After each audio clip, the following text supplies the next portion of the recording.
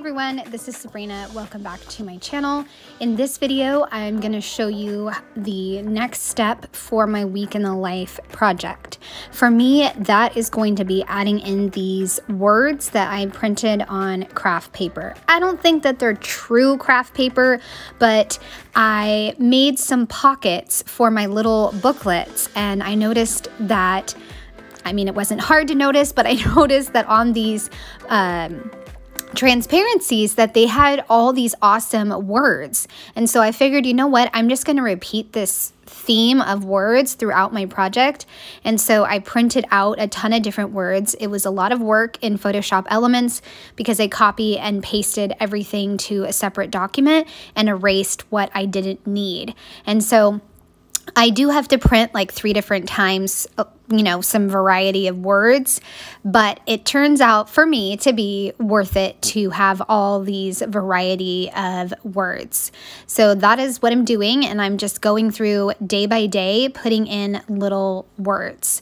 And I do plan on just having some empty pockets where I have words kind of floating. Some of the words are currently, like, yes, loving, thankful all those kind of great words. And you can see them down at the bottom.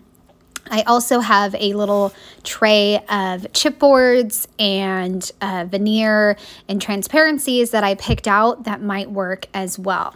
Like that photo of me dancing, I put brand new day for the chipboard.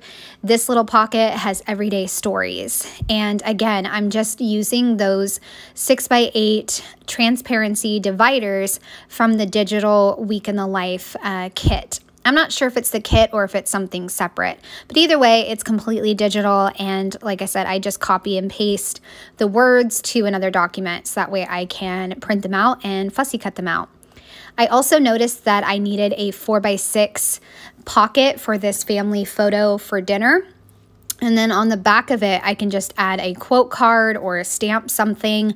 I plan on doing a lot of stamping once I get to that next, the next portion, which is going to be probably putting together Monday. And now at this point, I actually do have Monday done. So I'm hoping to have that video for you guys on Friday. I'm hoping. And as you can see, as I turn these pages, you will also see the um, little booklet pockets and those that's exactly where I got the different words and I also wanted to add maybe a few words to each of the six by eight photos and I just make sure or I'm going to make sure that they will be in a good spot and uh, kind of coordinate with the vellum that is in front of it. I am also going to add in some digital stamps. It was too tempting to not use digital stamps because I was really enjoying how these phrases were printing out. So I used Stories by the Month April kits, and you just saw me put one on the photo of my husband and daughter that says documenting the good stuff. Um, well, I just put it on there right now. I put it in the little pocket, but I used those and I printed out ones that said current delights, current outlook, April, happy, those kind of words. And I also used a freebie from the Week in the Life prep day, and it was like the morning and night kits from a really long time ago. So I printed out a few phrases for that because I did wind up with several morning stories and evening stories. And I figure if I don't have a lot of journaling for those spots, then I can just use giant word phrases and just have fun making my pages. Like you can see there's one right there that says PM. So that's going to be fun to have in that pocket kind of floating. And I just made sure that the vellum is going to be um, not in the way of the phrase that I want for the front porch, which is home. So I'm going to continue to go through each of these pages and see what kind of word phrases that I'm going to use. It may seem like a lot, but to me, I don't think it's going to be. I've always used a lot of word phrases in my week in the lives. If it's not the stickers, like the word phrase stickers, then it's going to be other words. And I'm really loving all these different word options that I have, and I'm excited to get them adhered down on my pages. Okay, so I'm gonna speed things up just a little bit and add some music while I finish up adding the rest of the words. I do have to print, like I said, like two or three rounds, but I am gonna get these all done and I'm excited to go to the next step and um, get everything put together because I will finish this album. I'm determined.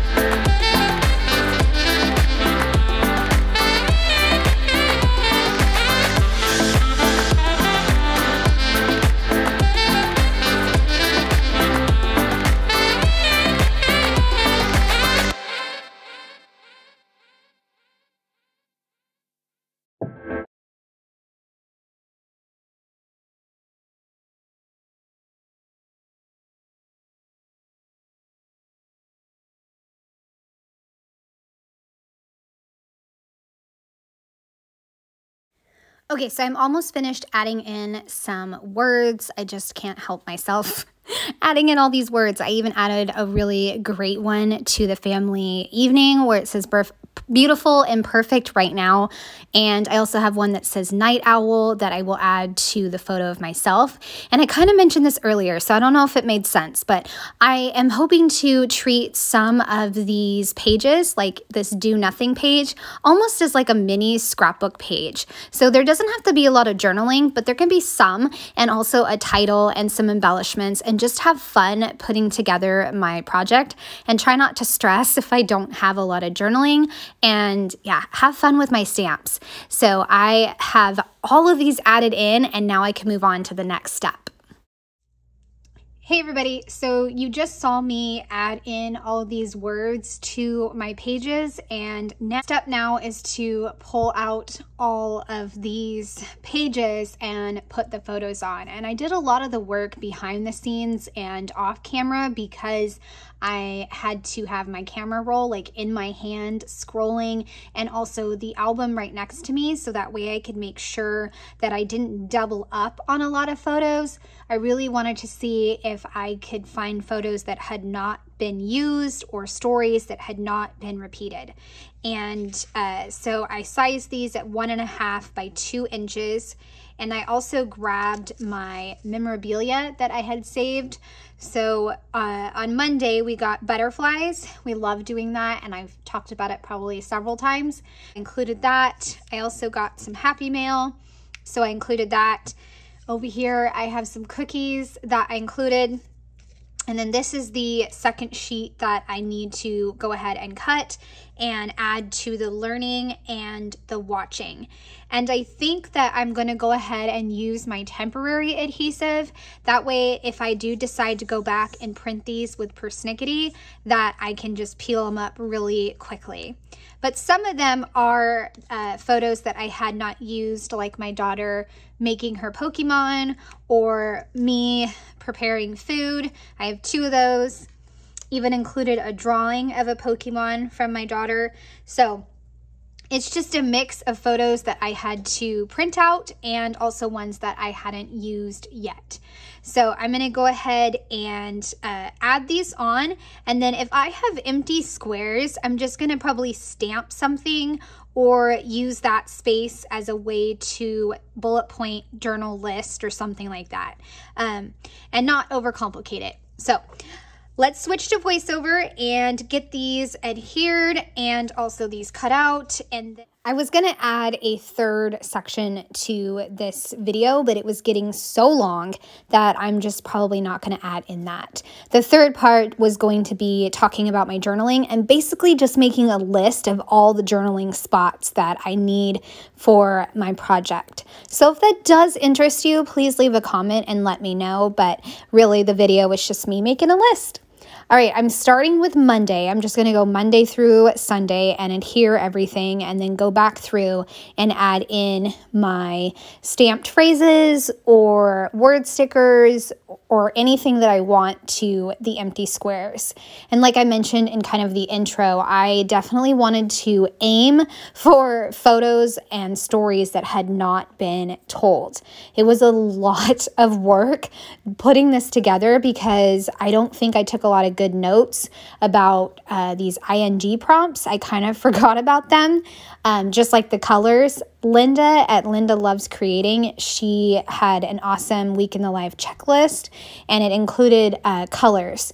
I tried, I did great on Monday and I did pretty good on Tuesday, but I just fell off the wagon. So it's kind of similar to that, but not as bad. Uh, colors, I kind of gave up. But the ing, I was determined to figure out how I could make these work, um, especially with learning. Learning was really hard. I kind of felt, um, I don't know what the word is, but I felt bad that I had not written down some of my kids' stories that they told me.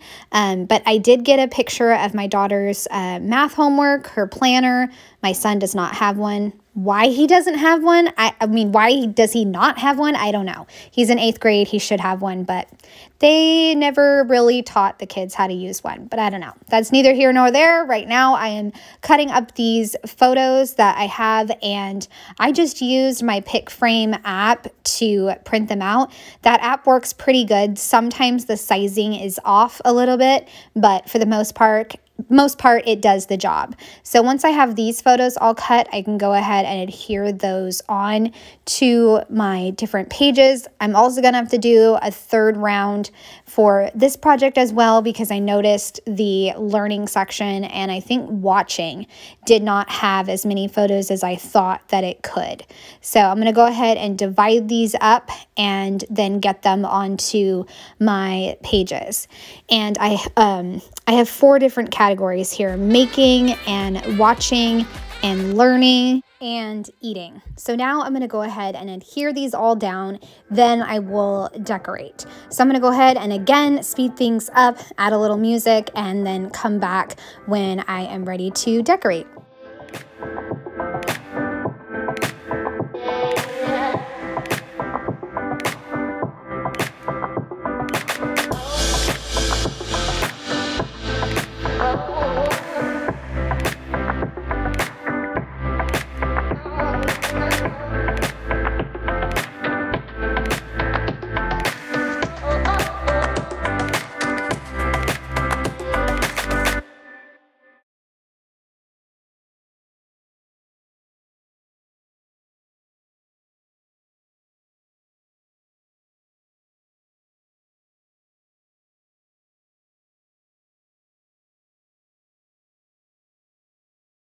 All right, so I have most of my photos done. You can see that learning needs a few more, and I'm gonna get a few more. I'm gonna kind of stretch the word, but I will explain that more later. Adding in the rest of the watching. I love how I was able to get a photo of, of, like me and my blanket watching TV, so that was cool. Now I'm kind of showing you all the pages brought back, and then I can go ahead and start on the decorating.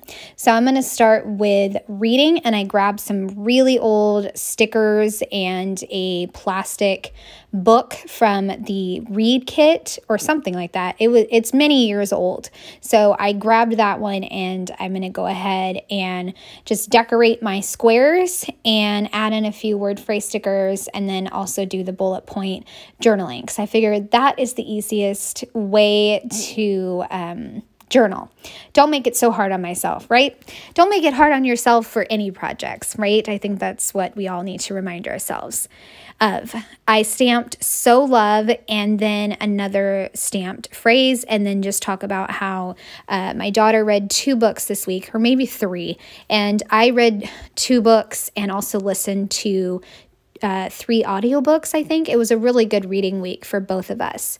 I also included a screenshot of some random facts that I found on in- Instagram one day, so that was fun to include. Now I'm doing the loving page, and for this one, I didn't do any journaling. I just stamped love captured in like block you know, block stamped form, and then current delights. And that's it. That one was super simple.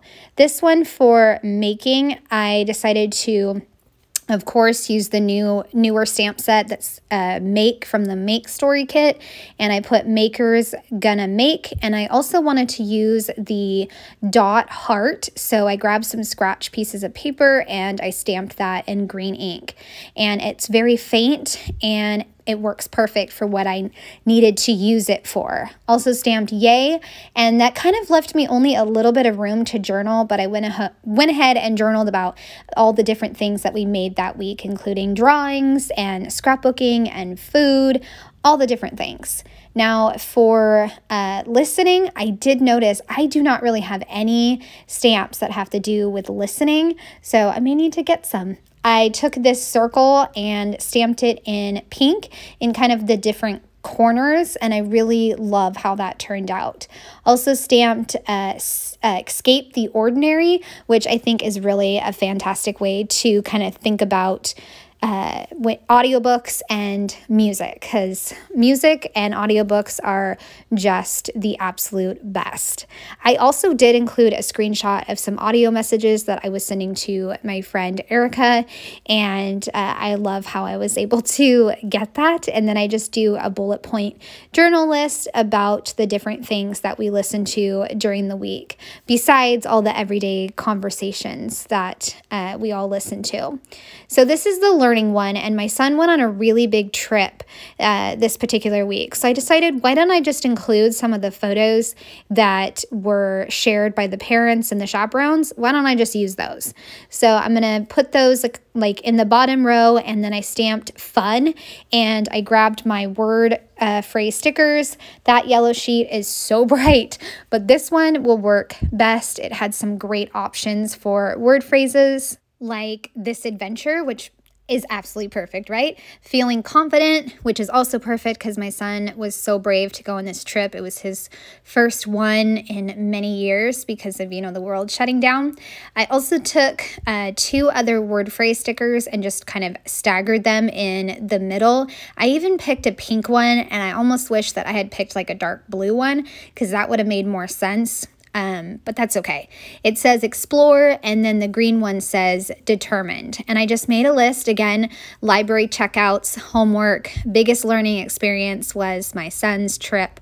Um, and so I love how this page turned out. I was really, like I mentioned it, I was a little stumped about learning, but it all worked out and I love it.